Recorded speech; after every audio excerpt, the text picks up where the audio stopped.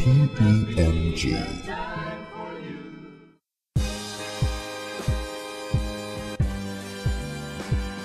Every now and then, an MC comes along. He's dynamic, he's committed to the tradition of hip hop as it originated.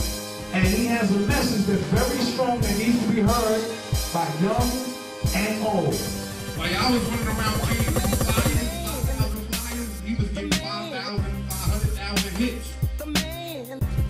prisoners or those who, you know, go off doing that negative stuff. He's got fire in his veins. Every lyric he spits, he don't waste no lyrics. He's a bad brother, definitely more and more things. So with no further ado, ladies and gentlemen, let's give a world black hand to NY Oil. Give it up for my man, NY Oil. Brother NY Oil. there is a division, and that division is generally a reflection of a break in continuity.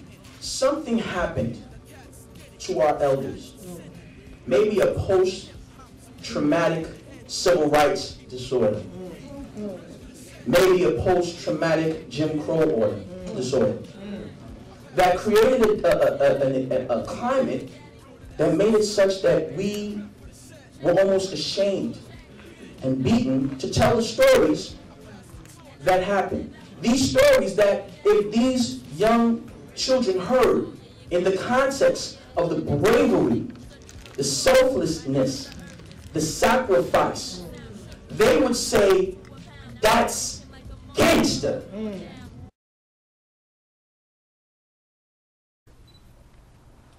I was having a discussion with my daughter last night, and uh, she owes about 400 homeworks in history because she failed uh, history twice for not doing homework. So her karma was that in order to pass, she had to do, she got like, uh, it seemed like about 400 homeworks, 400 questions rather, uh, worth of homework that she has to do.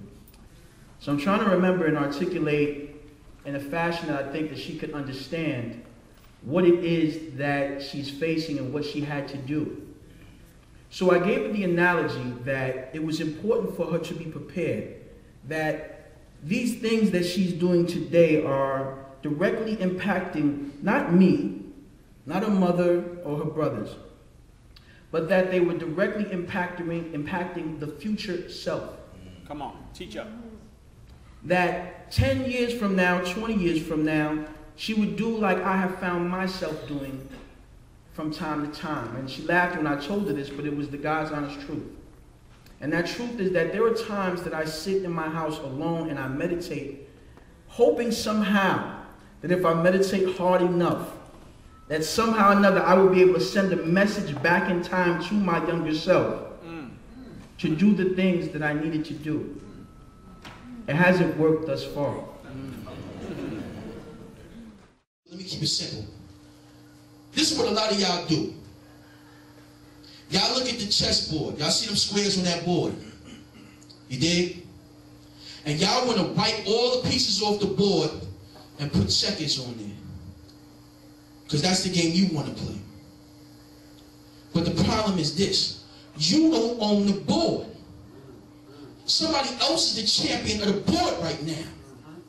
And they playing chess. So the first thing you got to do is beat them at chess. See, because then once you're the champion of the board, you clear all that shit off and say, now we playing chess.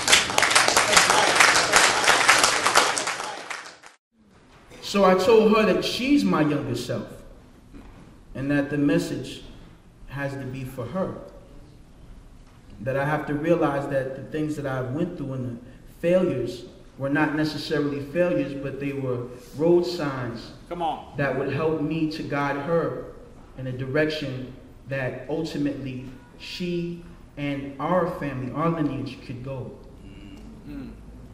So I explained to her that it was like, I said, would you jump out of a plane if you knew that all during the time they were teaching you how to set up the parachute and how to fall and, you know, when the count was before you pull the ripcord, if you knew you really didn't pay attention, how would you feel jumping out that plane? So I'd be nervous. I said, yeah, of course you'd be nervous. Hope is the last thing that you want to rely on. two, 3,000, 4,000 feet in the air. That's just not uh, something that you want to hope that you got it right. That's one of those things you want to know you got right. I am at a place where I didn't pay enough attention during the class. And now I'm 30,000 feet in the air, however high you are, besides how much I pay attention, I don't know how high in the air I am, right? And I pulled the ripcord, and now I'm tangled up in this parachute. And if you ever seen like a movie where somebody get tangled up in the parachute, the wind is on them so hard that they can't find a way, to get, they can't even get it up off their face to figure out to how to orient themselves to pull the safety chute. Well, that's where I feel like I'm at right now, I tell her. I said, Chanel, I feel like I'm there right now. And it's a scary place to be. Because now I've got a hope, again, that if I can manage to pull this parachute that was poorly prepared off of me, that somehow or another I manage to pay attention to pull this emergency chute. Because if that doesn't work, well, that's about the end of my story. The fact of the matter is that these rappers are trying to be the personification of the man they imagine themselves being. They're looking to uh, emphasize their masculinity, their strength, to appear powerful in a position of powerlessness. So you use the words and terms that you can find that sound rough. Yeah, that, mm, that, uh, you know what I mean? That B. These are things you say because it sound hard.